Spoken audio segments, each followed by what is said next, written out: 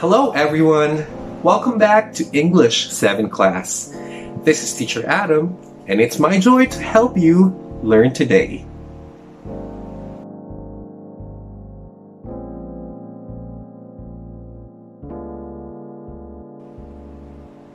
We are off to tackling the second to the last part of speech on our list.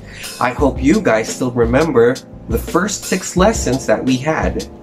But before we jump into our topic for today, I want you to guess what emotions the following emojis express.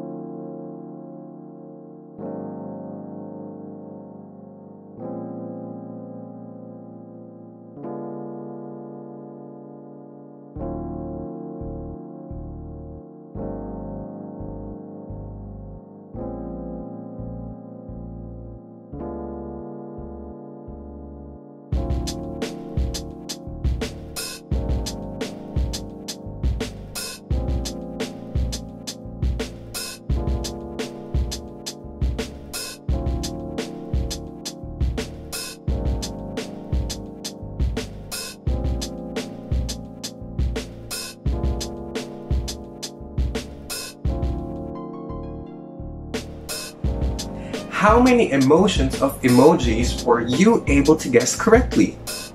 I bet it was not as easy as you thought it was, right? Like emojis, our next part of speech expresses different emotions. It may not be as popular as the other parts of speech, but it is equally important. Today, we are going to talk about interjections.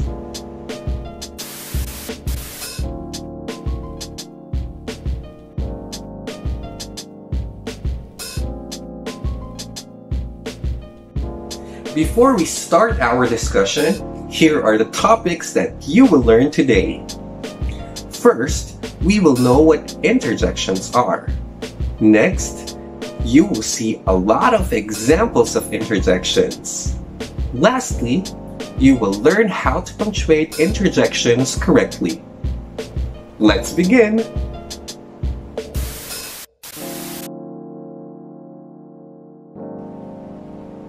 Basically, an interjection is a word that expresses feeling or emotion. So, what kind of feeling or emotion do interjections really express? Interjections can express a variety of sentiments, such as happiness, fear, anger, pain, surprise, sorrow, exhaustion, or even hesitation. There would actually be an interjection for every kind of emotion. Here are examples. Wow, I got a prize from the claw machine. Oh, I forgot to bring my project. Phew, I just finished answering my online exam. The interjection in the first sentence, wow, expresses both surprise and happiness. The interjection on the second sentence, oh, expresses worry and disappointment. Phew on the third sentence expresses relief.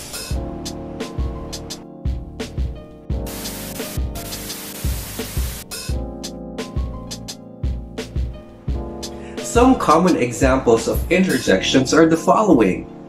Yeah, which expresses joy. Yuck, which expresses disgust. Or aha, which is an expression used by someone who finds or discovers something. Here are more examples of interjections.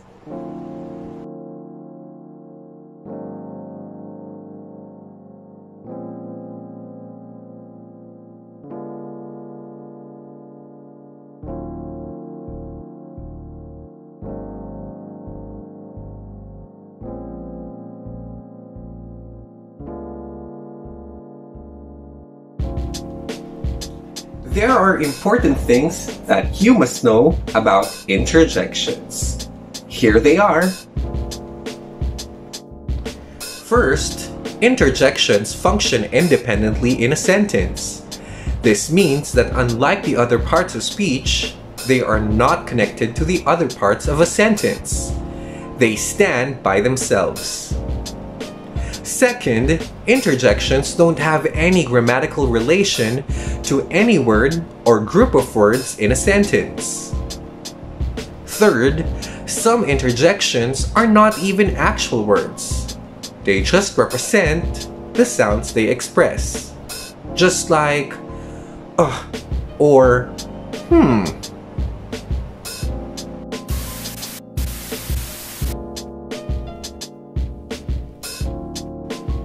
When writing interjections, there are two punctuation marks that are used.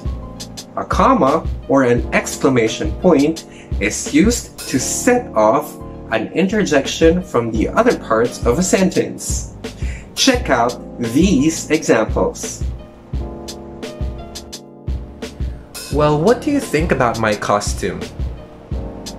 Ouch! You stepped on my toe! Based on the example sentences, when an interjection is spoken calmly, a comma follows it. Just like when you are saying, shh, the baby is sleeping. But when the interjection expresses more emotion or strong emotion, it is followed by an exclamation point. Just like when saying, Stop! Step on the brakes!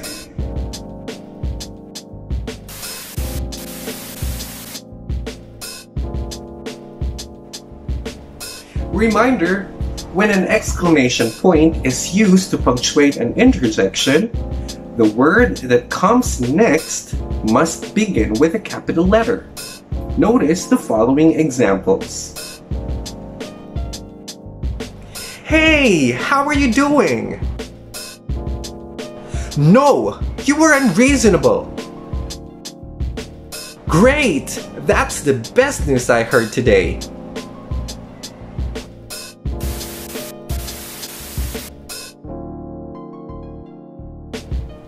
If you will be in the following situations, what interjection will you use to express yourself?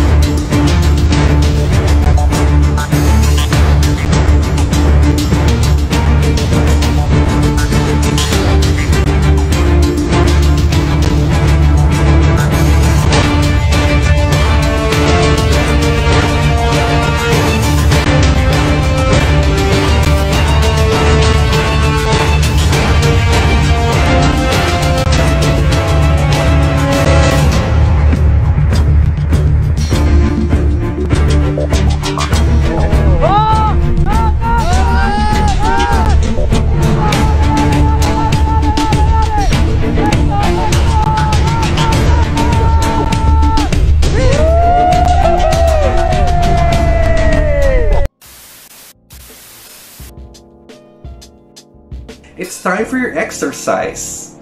On your notebook, write five sentences containing interjections that express the following emotions. Underline the interjections in your sentences and punctuate them correctly.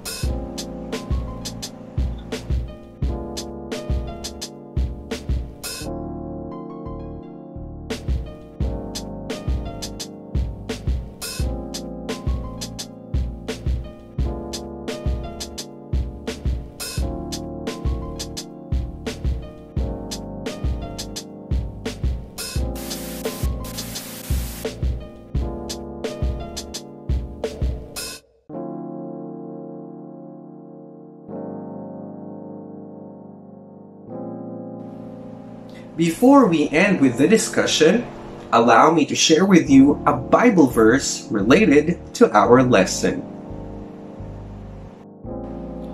Jeremiah 17:9 The heart is deceitful above all things and beyond cure. Since our topic for today is about expressing emotions through the use of interjections, our verse will also be about it. An important reminder is given to us. It is telling us to be extra careful in expressing how we feel, as what we feel may sometimes trick us. Ever wondered why our brain is placed above our heart? It may be because God wants us to think than to get carried away by how we feel. Emotions can trigger us to get mad at an instant, cry at a drop of a hat, and fester unforgiveness in one's heart. Let us not allow our emotions to lead us to sinning. Instead, in prayer, let the Lord take control of our being. Glory to God.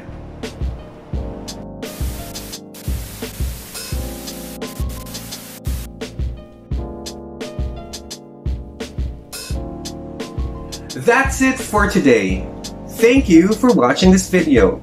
If there are parts of the discussion that are unclear to you, you have the choice to watch this video again, or you may also take note of your questions and ask them on our live session. Before I say goodbye, I'd like to thank and acknowledge the following sources that made this learning material possible.